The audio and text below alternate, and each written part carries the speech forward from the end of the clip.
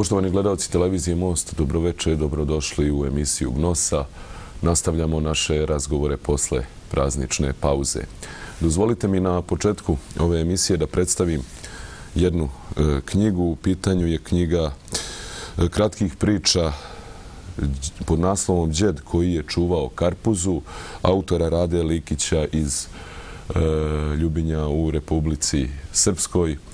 I ovo predstavljanje zaista e, predstavlja jedan prijateljski gest e, našeg prijatelja i mog i mog večerašnjeg e, gosta i pozdrav. Jedan, šaljem jedan prijateljski pozdrav. Knjiga se može nabaviti preko Facebook profila autora Rade Likića.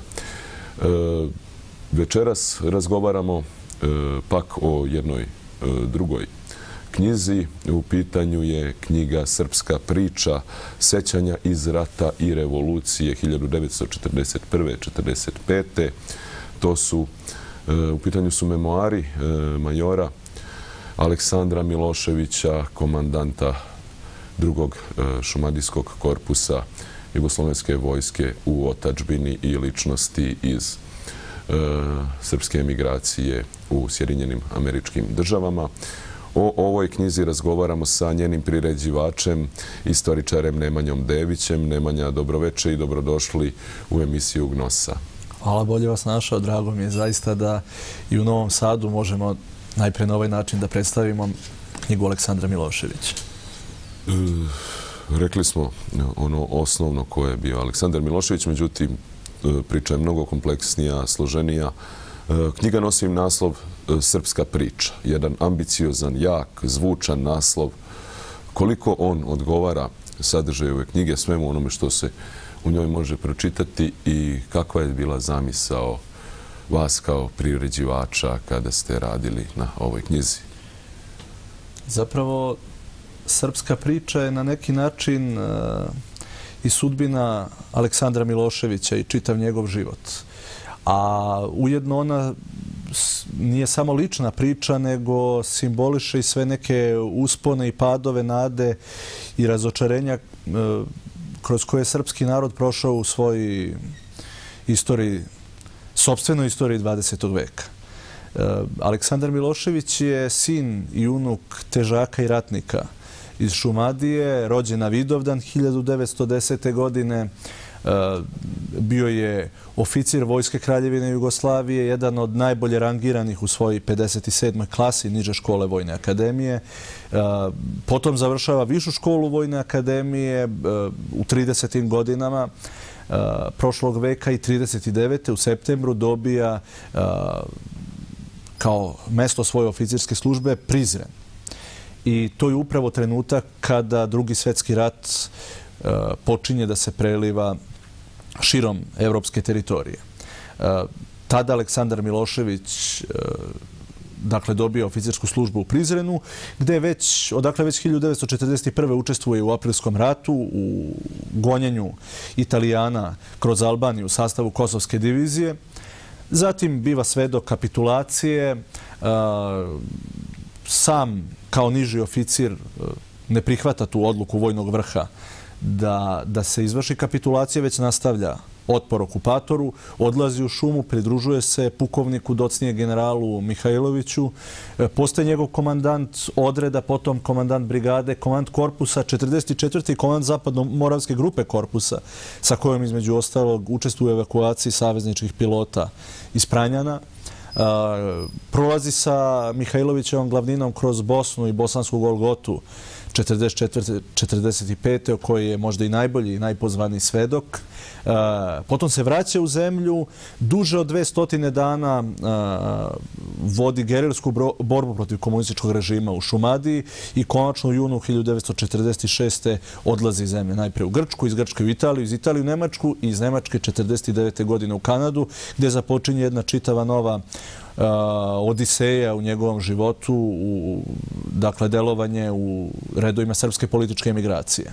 Uh, njegova nova poglavlja u životu naravno počinju i 90. godina nakon političke krize i rata i raspada bivše Jugoslavije. E, novo poglavlje bi bilo otvoreno i 2002. godine kada je prvi put posle drugog svjetskog rata posetio svoj rodni kraj i konačno završava se 2009. kada je Aleksandar Milošević umire u stotoj godini života i igrom sudbine jeli, ili sticajem nekih drugih okolnosti, biva sahranjen u svom rodnom selu po svojoj posljednjoj želji, istog onog dana kada je u Beogradu sahranjivan patrijarh Pavle. I na neki način smo smatrali da takav jedan životni put jednog e, realnog i autentičnog svedoka epohe zaslužuje e, naslov koji jeste srpska priča. Dakle, to što se desilo ne samo njemu, nego ono što se desilo svima nama. On je bio e, najpre kao dečak, ali po očevim i dedinim pričama, svedok svih onih dugih i složenih procesa krajem 19. i početkom 20. veka. Zapamtio je prvi svetski rat, e, bio je e, savremenik stvaranja Kraljevine Jugoslavije, u njoj stekao svoje prva i životna i politička iskustva, Zatim, dragocena su njegove iskustva i kao oficira Vojske kraljevine Jugoslavije, kao pripadnika elite te kraljevine. Potom kao gerilskog vođe, e, ravnogorskog komandanta, na posledku emigranta, ali moglo bi se reći kao što je Dimitrije Davidović po svojoj poslednjoj želji poželao da na njegovom spomeniku piše da je bio sav Srbin, da to bude njegov epitav, da je takav bio Aleksandar Milošević.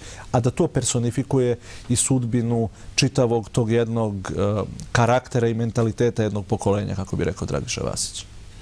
Da, Nemanja, Aleksandar Milošević je iz sela Saranova u Rači Kragujevačkoj, ako se ne varam. E, i, I vrlo interesantna epizoda e, s početka njegovih memoara e, i vrlo simbolički značajna, koja dosta toga govori o e, stanju u nekadašnjem srpskom društvu i porodici i vojsci i odnosu prema vojsci i državi, jeste kada se posle aprilskog sloma Aleksandar Milošević vratio e, u rodno selo, gdje ga je čitava familija dočekala e, radujući mu se iznenađena, sretna što je živ, preživao e, i preživao aprilski rat, međutim, e, vrlo je signifikantna reakcija njegovog oca koji mu se nije namah obradovao, već je njegova reakcija govorila o tome kako on doživljava povratak sina, sina Eh, vojnika, oficira vojske koja je izgubila aprilski rat. Kakva je eh, reakcija njegovog oca i šta ona govori? Eh, u suštini. Zapravo je to i glavno pitanje šta ona simboliše i opet se nadovezujem na onaj prethodni odgovor. Ona govori o tome kakvog su kova bili ti ljudi. Otac Aleksandra Miloševića je učesnik svih ratova za oslobođenje i ujedinjenje koje je vodila Kraljevina Srbija od 1912. pa sve do 1919. godine. Kasnije je ostao na Kosovu u gušenju e, albanske pobune. I ono što jeste interesantno da se Milošević u svojim opisima zapravo zadržava na sudbini svog oca, dakle jednog od boraca koji, koji su vodili e, čitavog životka, života, ne samo u, u rovu, već i kasnije e, na drugim poljima bitku da se stvori i održi ta e, jugoslovenska država koja je bila tada ratni cilj srpske vojske. Dakle, njegov otac i u trenutku kada se država raspala i kada se bliži kapitulacija vojske, nalazi jedno najprevojničko sedlo u okolini svog mesta, nedaleko od položaja gde se jugoslovenska vojska tukla sa nadirućim nemačkim snagama. I to sedlo odnosi kući.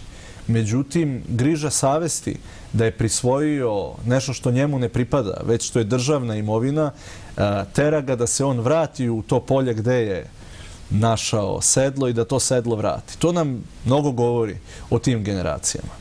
A ništa manje ni ovaj drugi primer gde on Eh, otac nekadašnji pobednik i ujedinitelj, jel?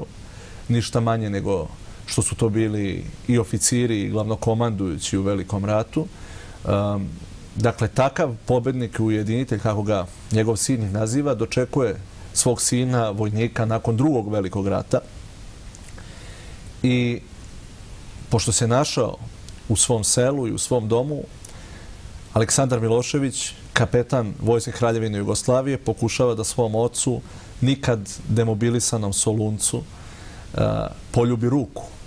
E, otac to odbija i uz prekor ga gotovo izbacuje iz kuće jer mu kaže da njegovo mesto nije tu već na položaju i govori o toj sramoti kako je vojska brzo poražena, država okupirana, a u jednom naletu i u nekoliko nedelja uništeno sve ono što su prethodne generacije stvarale. I kroz taj primjer mi nekako vidimo uh, i šire srpsku priču tog vremena.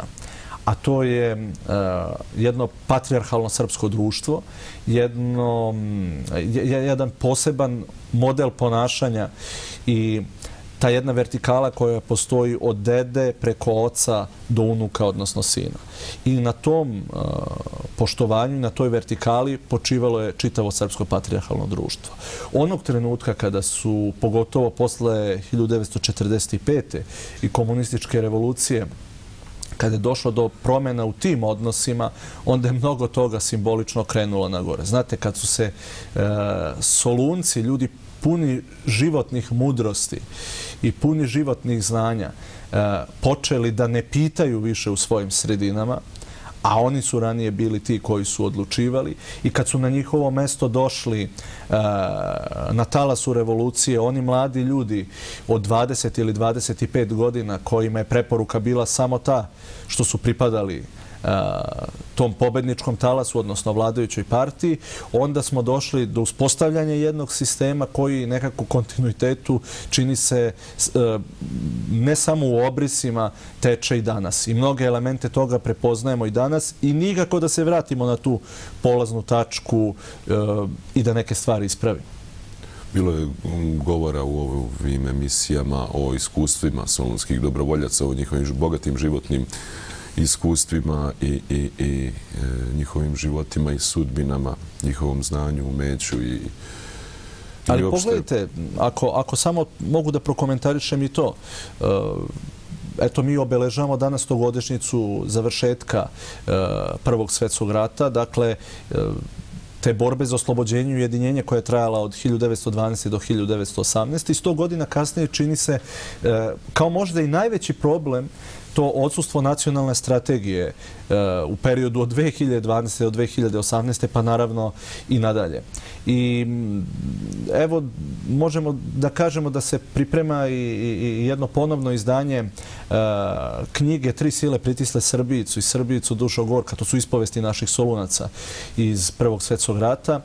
I nekako nam fali njihov glas. Ti ljudi su bili puni e, životnih znanja, veština i oni su boraveći naravno i na frontu i povlačeći se kroz Albaniju, prelazići tu mističnu granicu između života i smrti, zaista mogli da e, svoje potomke mnogo čemu pouče. Njihove savete nismo čuli do danas i možda je to jedan od uzroka e, ovog ćorsoka u kojem se danas nalazi.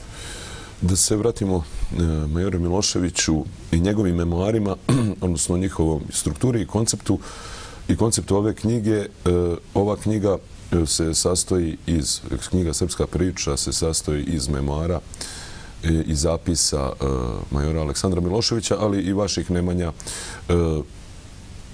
refleksija o njoj i vaših tekstova. E, da kažem nešto o konceptu knjige, dakle, ono što je bitno istaći je da major Milošević jeste nešto što zapisivao o aprilskom ratu, ali e, o periodu do od 1941. posle aprilskog rata do 1943. godine čini mi se nema zapisa njegovih, nego obuhvata 1944. 1945. sami kraj rata i nakon njega. E, za razliku od, i tu ćemo da uvedemo u priču i kapetana e, E, Zvonka Vučkovića, koji je također pisao memoare e, koje sam imao zadovoljstvo da čitam i ponešto o njima ranije i napišem, e, koji je obuhvatio čitav, odnosno taj period od 1941. do 1944. najviše. Dakle, kao da se jedni i drugi memoari ovih oficira nadopunjuju. Dakle, da kažemo nešto o konceptu ove knjige i o specifičnosti memoara Aleksandra Miloševića. To je nekako bio i moj utisak da su Aleksandar Milošević i Zvonko Vučković e, dvojica oficira i kasnije autora u emigraciji koji međusobno jedan drugog nadopunjuju i nadovezuju se. E, Zvonko Vučković je uspeo da nam opiše taj period od e, kapitulacije e, i od odlaska na Ravnu goru kod pukovnika Mihajlovića pa sve do avgusta 1944. kada on odlazi kao jedna prethodnica u emigraciju i ne znajući za kasniji sled događaja major Aleksandar Milošević je akcenat stavio na 44. 45. i poraz Jugoslovenske vojske u otačbini. E, njega u tom pisanju čitave istorije drugog svetskog rata i zaokruživanju njegovih ratnih memoara jeste po najviše omeo njegov buran život koji smo samo u konturama nekako uspeli da, da prikažemo. Njegova želja jeste bila da kako je najprej naslovio knjigu, prikaže kako je izgledala sudbina srpskog naroda u krštenim interesima moćnih, a da zatim o tome daj svoj sud kroz ta sećanja iz rata i revolucije. E, rekao bih da, je to, da su to možda i dva osnovna obeleže njegovih memoara. U prvoj ravni to je e, njegov pogled na refleksije svetske politike koji su na kraju odredili i zapečatili sudbinu ravnogorskog pokreta u drugom svetskom ratu. Ali, e, s druge strane, to je i onemogućavanje te takozvane narodne ravnogorske revolucije, o kojoj je posebno bilo govora u vrhovnoj komandi generala Mihajlovića i njegovih e, najbližih saradnika od leta 1944. godine. Dakle, njihove ideje da nema povratka na staro, da nova demokratska kraljevina Jugoslavija i tekako mora da izvrši reforme na svakom polju, e, bile je tom tim odlukama moćnih i pobedom komunista u građanskom ratu onemogućena. Tako da mm, je to jedna važna činjenica koju treba danas istaći. Kada pričamo o ravnogorskom pokretu, e, mi često mislimo da je to pokret koji je, e, odnosno mnogi ga tako prikazuju zlonamerno, kao pokret koji je predstavljao nekakvu snagu kontrarevolucije E, i bio za očuvanje monarhije po svaku cenu, neki kažu i vojne diktature i tako dalje. Međutim, činjenice, nova istraživanja, dokumenti govore nešto sasvim, sasvim drugačije. E, major Aleksandar Milošević je e, posebno pisao o ratu, sačuvana je njegova bogata prepiska sa oko 10.000 pisama sa vrhom srpske političke emigracije i to je bio nekako njegov najveći trud i smatrao je najznačajniji poduhvat jer je želeo da ukaže na istinu o borbi ravnogorskog pokreta svom rodu, svom narodu. I smatrao je da njegovi memori ne treba da budu za razliku od mnogih drugih objavljeni u emigraciji, već da treba da budu štampani u Srbiji onog trenutka kad se za to steknu uslovi. I kad je nekako shvatio da je ravnogorski pokret izgubio bitku u ratu, kada je shvatio da je izgubio i političku bitku jednog trenutka u miru, do tog zaključka je posebno došao posle 1963. raskola crkava. On se onda okrenuo pisanju i svom konkretnom doprinosu. To je zapravo ono često naša dilema šta da učinimo za naš rod bez onog konkretnijeg i određenijeg šta da učinim za svoj rod. On se tog trenutka rešio za, da traži odgovor na ovo drugo pitanje. I počeo je da piše o ravnogorskom pokretu, e, pokušao je da iznese istinu o njemu, kako bi izneo istinu o uopšte e, e, tom trnovitom hodu srpskog naroda kroz, kroz 20. vek. Da. Kada govorimo o ravnogorskom pokretu, ti imaš ovdje jednu u, u ovoj knjizi, u svom uvodnom tekstu, jednu sjajnu refleksiju koja je vrlo značajna, e, gdje se kaže, a pozivaš se i na Miloša Timotijevića, istoričara, e, kažeš, poraz ravnogorskog pokreta i tradicionalizma srpskog sela bilo je u, e, bio je povezan i međusobno uslovljen. Pokazalo se da je selo bilo uporište pokreta i njegova zadnja uzdanica pred prodor partizanskih jedinica u Srbiji i tako dalje. Dakle, da malo e, osvetlimo tu vezu poraza e, ravnogorskog pokreta i ideje svega onoga što je on predstavljao i tradicionalizma srpskog sela koji je uveliko već bio načet. Čime je to bio načet u međuratnom periodu i šta je sve uslovilo e, ovakve epiloge? To je isto jedno od možda ključnih pitanja. Jer e, u našim brojnim analizama e, koje su i kolege iz prethodnih generacije, generacija e, pokušavali da prave, izostao nam je odgovor na možda i najvažnije pitanje. A to je kako se srpskom narodu i zašto se srpskom narodu desio komunizam 1944. i 1945 nije do komunističke revolucije došlo samo odlukom moćnih. Mi moramo da vidimo šta se tu desilo i na terenu. Šta je doprinelo da mm, svi nezadovoljnici e, po raznim pitanjima i raznim osnovama iz Kraljevine Jugoslavije pokušaju da svoje nezadovoljstvo artikulišu ili odgovore na, na, na te svoje dileme nađu upravo u krilu komunističkog pokreta, koji je pre rata bio okarakterisan kao jedna ekstremna, ali politički minorna snaga. Moje stanovište i moja tvrdnja koju nekako nastojim da dokažem i u i u izvornoj građi, e, ona se zapravo i nametnula kroz analizu građe i dokumenta jeste ta da je e, građanski rat u Srbiji bio vođen e, ne samo između četnika i partizana, odnosno monarhista i republikanaca, već da je dobrim delom bio poprište jugoslovenskog i srpskog stanovišta. Ravnogorski pokret, iako je bio jugoslovenski. Iako je bio jugoslovenska vojska u otačbini, iako je Mihajlović i iako su brojni njegovi komandanti, pa i sam Milošević, pa i sam Zvonko Vučković koje smo pomenuli, iako su se osjećali kao jugosloveni, bio je pokret koji je na tu Jugoslaviju gledao srpskim očima. E, ne veliko srpskim kako mu se učitava ne po onoj Moljevićevoj karti koja nikada nije postala oficijalni program ravnogorskog pokreta, već e, jedna zajednica, pravednija zajednica naroda u kojoj bi, u kojoj bi pored proširene srpske države bilo mesta između ostalog i za prošire, proširenu slovenačku državu. I definitivno je takva Jugoslavija bila po svakom pitanju Jugoslavija viđena e, srpskim stanovištem. Jugoslavija kakvu smo dobili 1945. godine bila je Jugoslavija u kojoj je pobedilo jugoslovensko stanovište. I da ne, da, da ne dam čak i neku strožiju kvalifikaciju. Profesor Lompar to zove titoističkim jugoslovenstvom. Vidite, nije... Ono što je posle nastalo. Nije, nije, nije slučajno da se, da komunisti nisu dozvolili ni da se Srbija oslobodi sama 1944.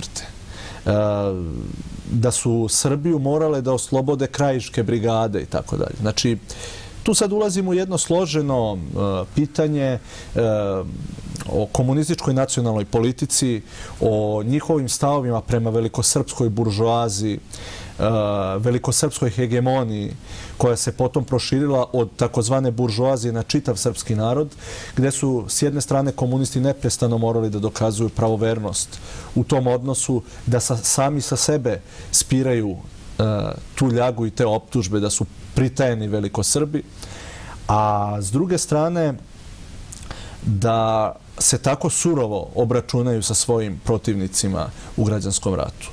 I moje gledište je takvo da e, nije nacionalna tragedija tolika što su republikanci pobedili monarhiste. Nego je zapravo najveća tragedija ta što su Jugosloveni pobedili Srbe u građanskom ratu. I ako govorimo i o tim posledicama, i to je nešto što nas prati do današnjih dana. I ravnogorski pokret je bio pokret koji je bio jedan pokret e, malog čoveka, pokret siromašnog seljaka, koji je zaista morao kao takav da traži e, reforme i u sudstvu i u zdravstvu i u socijalnoj politici i tako dalje i da nastoji da ispravi sve one nepravde koje su učinjene tom srpskom seljaku 1918. godine. Naravno, pitanje je da li bi u kojoj meri bi do toga došlo da je on pobedio 1945. O tome ne možemo mnogo da znamo. Ali taj pokret definitivno nije i to nam i ova knjiga pokazuje bio pokret koji je bio velikosrpski, hegemonistički, pokret koji se borio za zaštitu prava nekakve buržuazije. E, Aleksandar Milošević je sin e, siromašnog šumadijskog seljaka. E, njegov ispisnik Koča Popović, koji je također ostavio memoarske zapise, je bio sin zaista beogradske buržoazije, beogradskih, intelek, e, beogradskih bogataša, industrijalaca, e, sinovac jednog od onih industrijalaca koji su srpskoj vojsci kroz, kroz brašno e, podmetali i pesak. Znate. I takva dva modela danas su prisutna i dalje u Srbiji i o njima danas moramo da razgovaramo. Dakle, ne šta mi, e, kako samo ocenjujemo taj period koji je za nama, nego koji su to vrednostni modeli sa kojima smo mi ušli u 21. vek i u kojima smo zakoračili u 2019. godini, godinu i koj, sa kojima ćemo zakoračiti u buduće godine. Dakle, šta su vrednosti koje ti ljudi sa sobom nose. I tu moramo da se opredelimo. Da li, smo, da li imamo srpsko, jugoslovensko stanovište, da li pišemo cirilicom, latinicom, koji su to događaje, koji su datumi, koje su ličnosti iz naše istorije sa kojima se identifikujemo.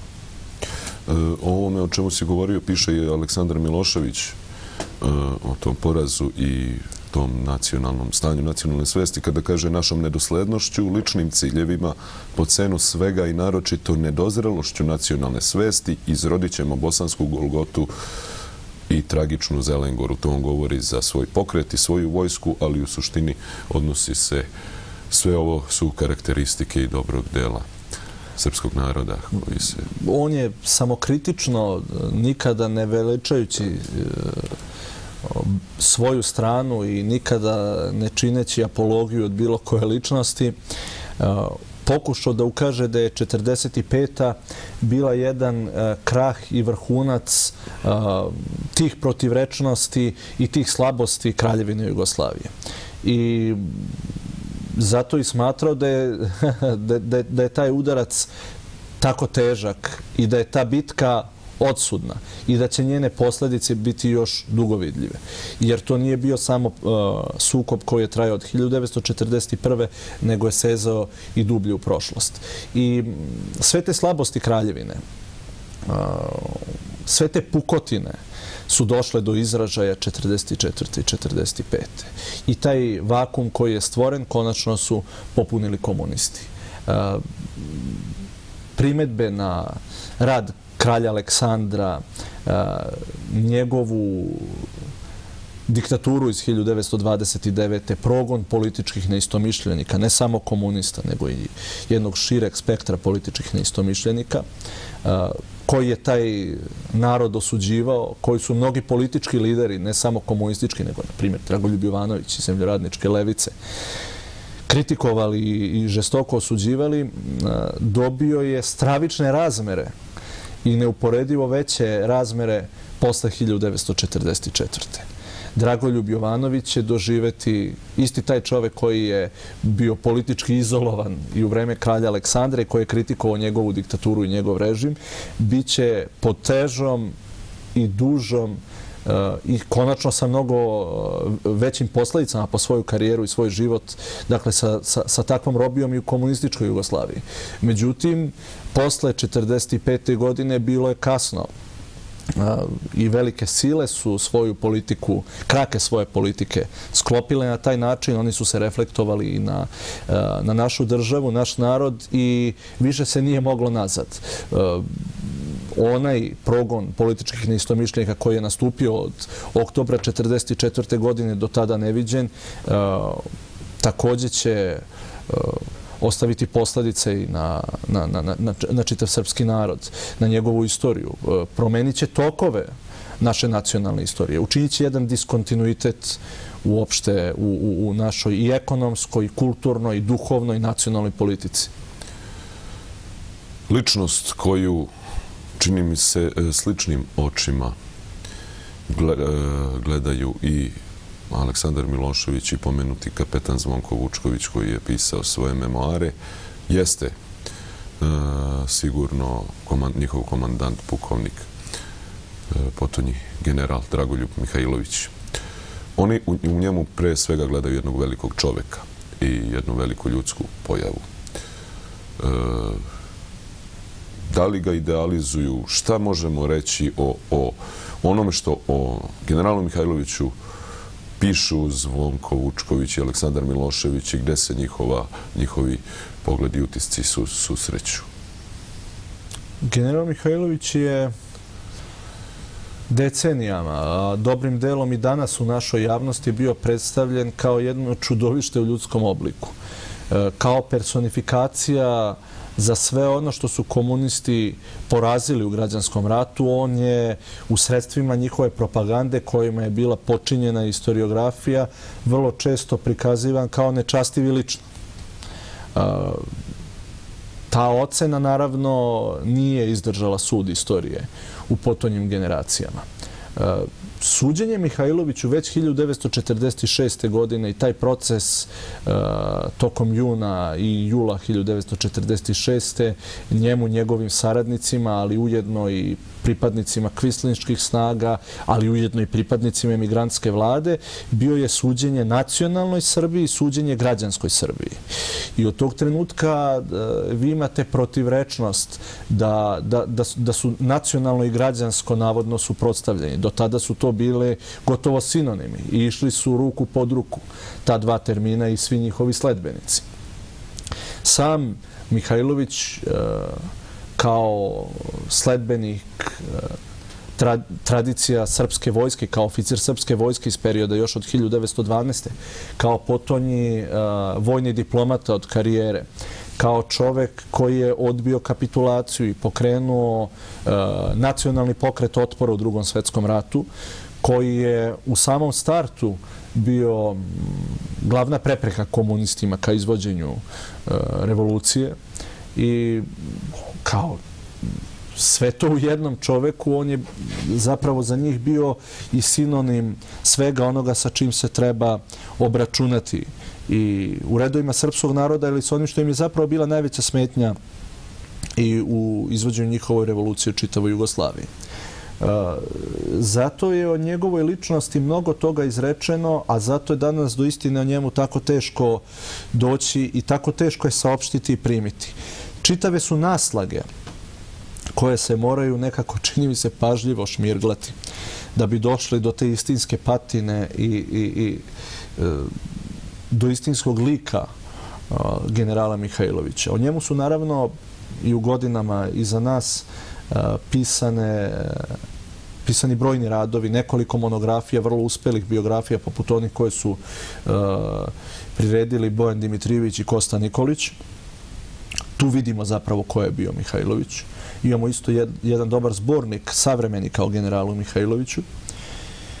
I čini se da je on jedna od najoklevetanijih ličnosti u našoj istoriji, a možda i najoklevetanije u našoj savremenoj istoriji. E, definitivno on je bio čovek kog su e, krasile ljudske i vojničke vrline, ali koji S druge strane, nije bio možda dorastao tim okolnostima svetskog vihora koji ga je, kako i sam rekao, e, nosio i na kraju odneo i njega i njegovo delo. E, on je bio oficir, e, nije bio političar, pred sobom je imao jedan fanatizovan politički pokret na čelu sa iskusnim, prekaljenim svetskim revolucionarima, kojima on pokazalo se zbog svog karaktera kakav je kao srpski oficir nosio, zbog svoje duboke vere u zapadne saveznike i zapadne demokratije, e, pokazalo se na kraju nije bio dorastao.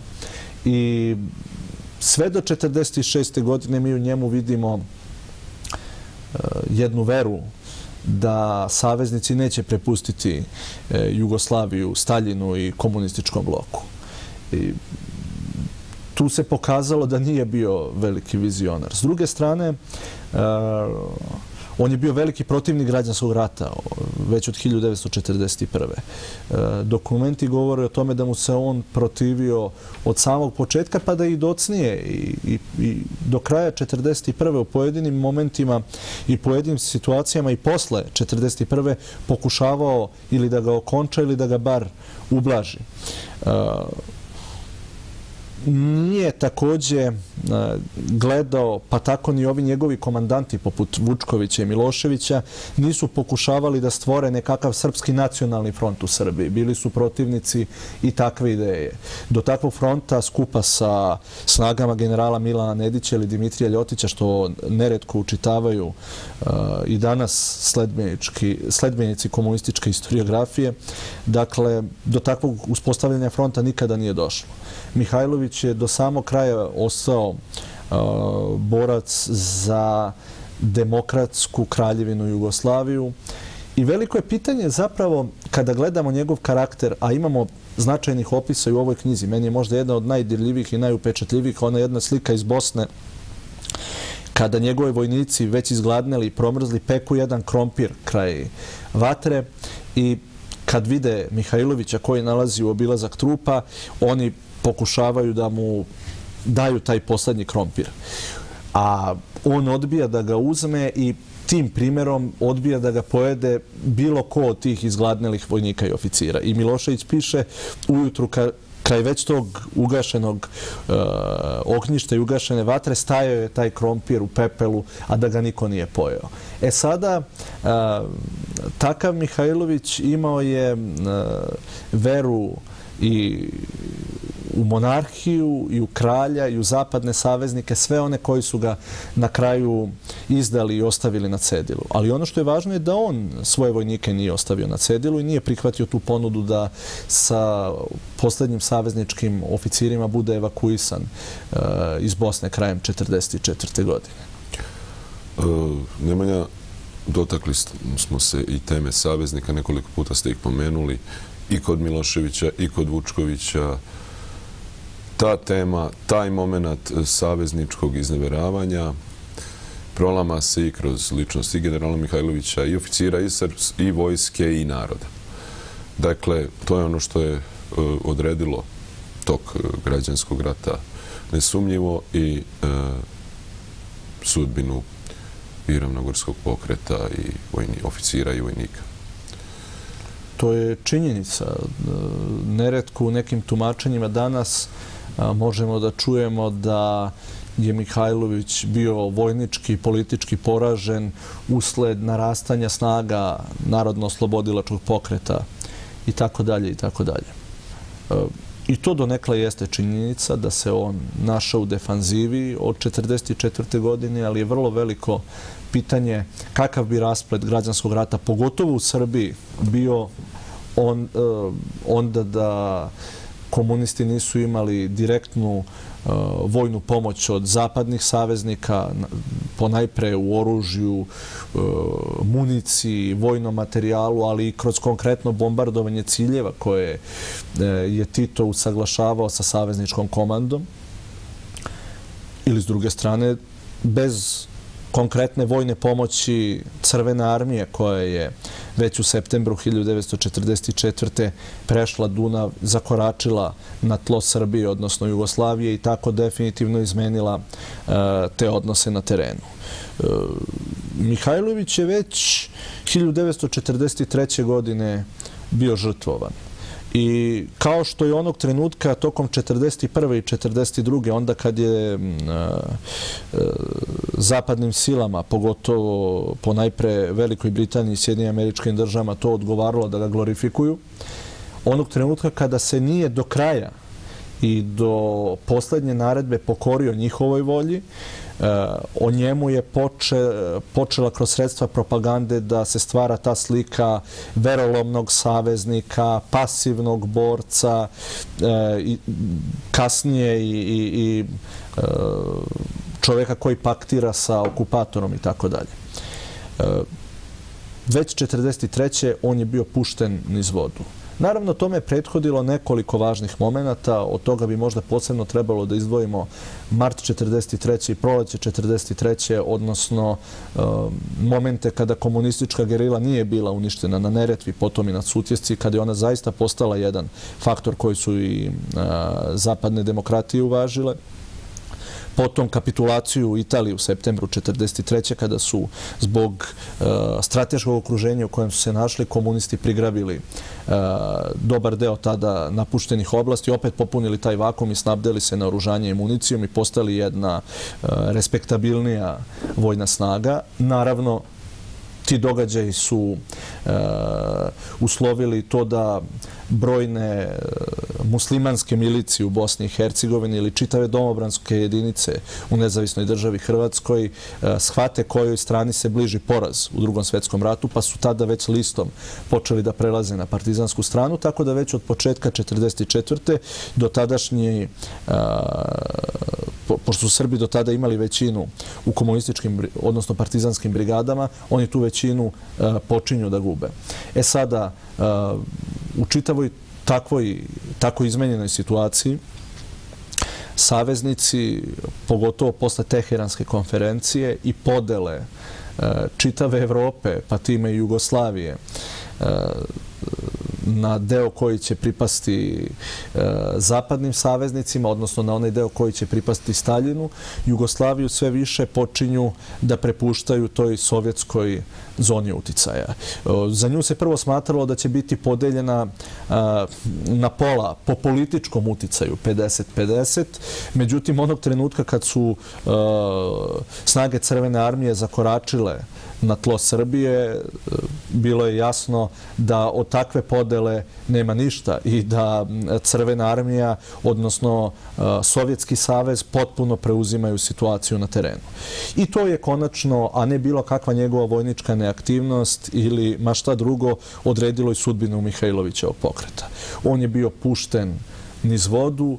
Kako rekao, odrekli su ga se i saveznici. Na to je kasnije bio prinuđeni kralj Petar II. Karadžorđević i on je sa svojim sledbenicima nastavio borbu, uklanjajući se najpre iz, sa mesta e, komunikacije u Srbiji, povlačeći se u bosanske vrleti i tu je e, doživeo svoj vojnički i politički slom kroz takozvanu bosansku Golgotu, o kojoj mi ne znamo gotovo ništa do danas. To je jedan zatamljeni period naše istorije. Da. Pre bosanske Golgote samo ovaj moment da istaknemo o kome piše i Aleksandar Milošević. Moment e, kada kralj Petar II. poziva vojsku, Jugoslovensku vojsku u otačbini, da se priključe jedinicama pod Titovom komandom. To postoje mnoga svedočenja, je bio jedan od najvećih udaraca za samog, same pripadnike i vojnike i oficire e, i narod u Srbiji pre svega koji se nije nadao od svoga kralja da će doživeti poziv da se priključi e, jedinicama sa kojima je u građanskom ratu. Jel? E, a i, i to taj čin je uticao da bude i mnogo dezerterstva u, u redovima i jedinicama vojske. Jeste, to je 12. septembra 1944. godine, taj govor kralja Petra II. Karadžorđevića preko radio Londona, njegov poziv um, svim rodoljubima da se svrstaju pod uh, barijak Narodno-slobodilačke vojske, odnosno Josipa Broza Tita i da tako nastave svoju boru protiv okupatora. Naravno, tome je prethodio čitav jedan niz događaja, pritisaka na mlado kralja Petra, koji se pokazao kao nedorastao tim okolnostima. I on je također jedna od oklevetanih ličnosti u srpskoj istoriji, jedna od tragičnih ličnosti u srpskoj istoriji. E, podsjetimo, kralj Petar je došao na presto sa 17,5 godina. U jednoj svetskoj oluji koja je neposredno pre toga zbrisala e, mnoge evropske države, pa u ostalom i e, onu koju se Jugoslavija najviše uzdala, Francusku. E, dakle, sa 17,5 godina je postao kralj. E, sa 22 godine mu je zabranjen povratak u zemlju Eh, sa 30 godina je napisao memoare, a umro je u svojoj, čini mi se, 47. godini. Srpski kralj Petar Mladi ili kralj Petar bez zemlje. Eh, nesumnjivo, ti pritisci eh, kojima je podlegao na kraju u Londonu Eh, u mnogome su doprineli osipanju jugoslovenske vojske u otačbini. Milošević piše o tim događajima eh, da je najteže njegovim oficirima i saborcima pao taj čin da ih je ostavio na cedilu onaj eh, sa kojem su se zaklinjali, čije su ime pominjali u proglasima i sa čijim su imenom umirali na usnama boreći se e, protiv svojih rivala u građanskom ratu i protiv okupatora e, kome su klicali čitavo vreme rata, skupljali peticiju za njegovu ženitbu. E, međutim, ono što je također interesantno sa stranica ove knjige jeste jedan primjer kapetana Milutina Milutinovića, e, treba i njega pomenuti kao jednog oficira iz Pomoravlja koji se borio u Miloševićim jedinicama i koji je istakao jedan suprotan primjer. E, rekao je da je on produžio borbu protiv okupatora u 1941. i da ne odlučuje kralj o tome e, kome će on nadalje predati oružje. I kapetan Milutinović je nastavio borbu u redovima ravnogorskog pokreta, preživeo i bosansku Golgotu i taj njen slom na Zelengori i kasnije nastavio svoj život u emigraciji. E, E, Bosanska Golgota, Zelengora, to je ono o čemu, recimo, kapetan Zvonko Vučković svojim memoarima ne piše, prosto nije ih prošao, on je otišao u emigraciju ranije, e, u toku rata još 44. Pomenuli smo to. Što je Bosanska Golgota? Pa vrlo je malo zapravo e, bilo ljudi koji su bili kadri da razumeju šta se tu dešavalo, drugo da su preživeli e, bosansku Golgotu i treće da su i razumeli i preživeli, a bili u stanju da sve to ili u mogućnosti da sve to docnije opišu.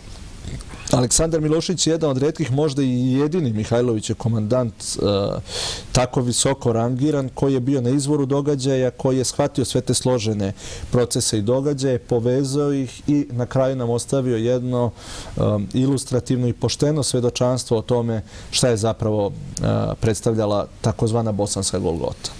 Bosanska Golgota je e, naziv koji je još u emigrantskoj historiografiji bio nazvan, bilo nazvano povlačenje glavnine snaga Jugoslovenske vojske u otačbini ili kolokvijalno rečeno četničkih jedinica posla sloma u septembru 1944. godine, posla sloma u Srbiji. I oni su ju poređivali sa Golgotom koju su njihovi očevi prošli u Albaniji 1915. i 1916. S tim što je ova trajala i duže i u nekim elementima bila i surovi, ali srećom je odnela manje žrtava nego što je odnela ona albanska Golgota. Međutim, ni danas se ne zna tačan broj e, vojnika kraljevske vojske koji su ostavili život u bosanskim vrletima, e, boreći se i, sa, i protiv Ustaša i protiv komunista i protiv svih onih drugih neprijatelja koji su na tom putu zaticali. E, to je bila Mihajlovićeva odluka u jesen 1944. da se njegove snage sklone sa pravca nadiranja Crvene armije, da se sklone u nedostupnije područje i da tamo po savjetu šefa savezničke američke misije u Mihajlovićevom štabu Roberta McDowella formiraju jednu novu slobodnu teritoriju na, u tim zapadnim srpskim pokrajinama i tu na neki način sačekaju rasplet rata, direktnije uključivanje e, Sjedinjih američkih država u, u taj ratni sukob. Podsećamo da su to počeci već i hladnog rata i da tu nekako e, dođu do, do, do, do povoljnijeg položaja na samom kraju rata i, i, i da doprinesu nekakvom drugačijem ishodu. Međutim, iz mnogo razloga to nije bilo moguće. Komunističke snage koje su e, oslobodile Srbiju od nemačkog okupatora izvršile su e, mobilizaciju trupa.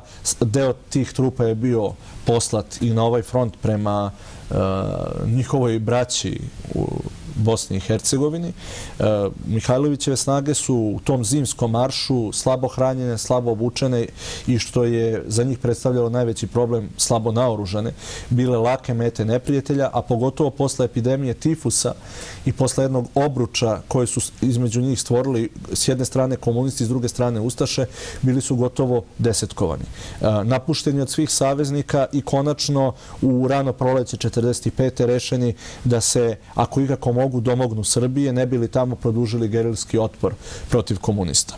Međutim, e, te nove snage već nastajuće jugoslovenske armije e, bile su čvrsto rešene i dobro snabdevene i dobro motivisane da se sa Mihajlovićim snagama obračunaju do kraja. E, odsudan poraz posle čitavog tog kružnog puta kroz Bosnu i Hercegovinu i prolaza kroz dobrim delom oblasti nastanjene muslimanima i Hrvatima, to valje istaći, gde ni jedan zločin Mihajlovićeve snage nisu počinile nad njima. A tu je bio ujedno i poslednji put da je srpska vojska sa kokardama i šajkačama promarširala kroz te delove koji danas pripadaju, na primjer, Federaciji Bosne i Hercegovine, počevo od okoline Konjica, Fojnice i tako dalje. Dakle, prošavši kroz taj kružni put, oni su nedaleko od ušća Sutjeske u Drinu, eh, na padijama planine Zelengore doživeli eh, svoju najveću pogibelj. Eh, Bojan Dimitrijević i Kosta Nikolić izneli su podatak da je oko 9300 Mihajlovićih vojnika u tim borbama u maju 1945. što u borbi, što nakon zarobljavanja izgubilo život ili bilo likvidirano. I to je bio jedan od posljednjih velikih zločina komunističkih snaga u Jugoslaviji, a podsjećamo da je do toga došlo nakon 9. maja 1945. nakon što je drugi svetski rat u Evropi već bio završen. Da, e, nisu svi komandanti Jugoslovenske vojske u Tržbini bili za povlačenje preko Bosne. Treba i to istaći. E, bilo je u takvoj složenoj situaciji raznih predloga, e, raznih ideja kuda dalje ta Mihajlovićeva ideja također nije bila e, samo plod njegove mašte, već je, kako rekao smo, bila ohrabrivana i od Amerikanaca i od zapadnih saveznika. To je bila jedna, kako bih pokušao da uprostim i da kažem, ali zaista jedna velika e, igra raznih obaveštajnih službi u Jugoslaviji, gde su mnogi od njih smatrali da 44. u jesen nije sve gotovo i nije sve izgubljeno. Ne samo po monarhiste i ravnogorce, nego da će Sjedinje američke države recimo biti i tekako prisutnije, pogotovo posle misije Halijard uh, u Jugoslaviji. Do toga nije došlo. Uh, Mihajlović je na Zelengori pretrpeo, naravno, Amerikanci su već krajem 1944. godine uh, ta njihov poslednji konvoj i poslednja misija su napustili Mihajlovića i njegove snage. Uh, oni su ostali odsečeni i na Zelengori pretrpeli taj veliki poraz o kome se danas malo zna. Više od 300 srpskih oficira je izgubilo život u tim borbama. Poginuo i sin generala Mihajlovića. I sin generala Mihajlovića, Vojslav Mihajlović. Ali pogledajte taj, tu činjenicu. Više od 300 oficira, a, a, a sigurno više od 500 vodećih srpskih intelektualaca.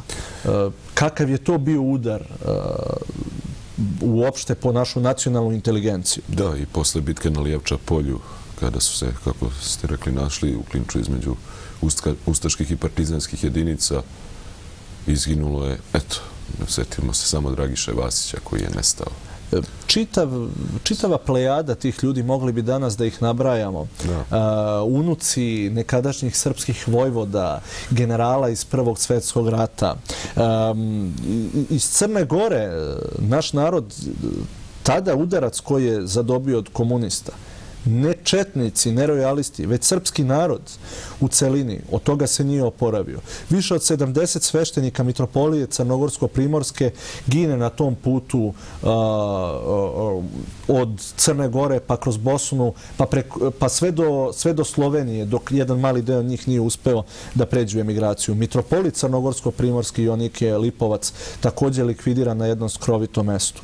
Doktor Luka Vukmanović, rođeni brat Svetozara Vukmanovića, Tempa, o čijoj likvidaciji on kasnije dosta hladnokrvno piše u svojim memoarima Revolucija koja teče, gde, ovaj, gde govori kako je zabranio svoj majci da više ikad pita za Luku, svog rođenog brata.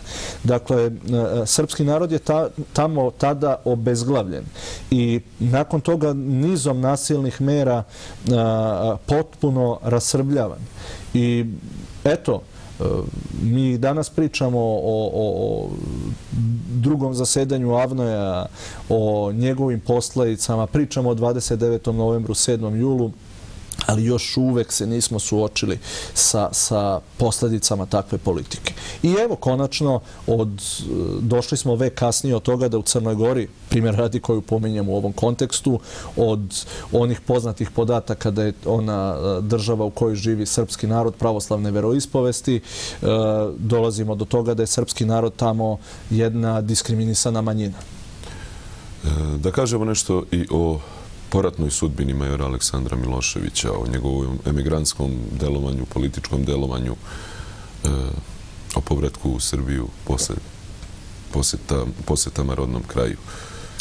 Eh, Aleksandar Milošević je, kako rekao smo, uspeo 1946. godine da mm, sa jednom malom grupom svojih vojnika i svojom e, suprugom sa kojom je tek bio venčan u šumi e, napusti zemlju, da se otisne put Grčke, kasnije da ode u Kanadu 1949. i da tamo započne jedan novi život.